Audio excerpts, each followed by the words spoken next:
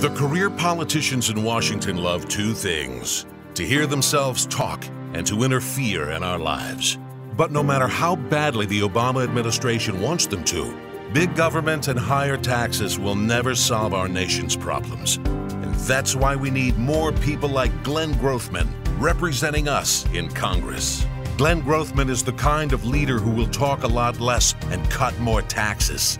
Glenn Grothman will help small businesses in our communities start growing again while shrinking out of control government spending.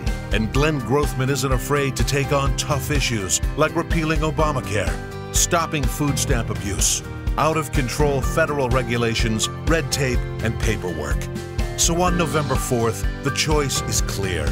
We need less talk and more common sense. We need Glenn Grothman in Congress. I'm Glenn Grothman, and I approve this message.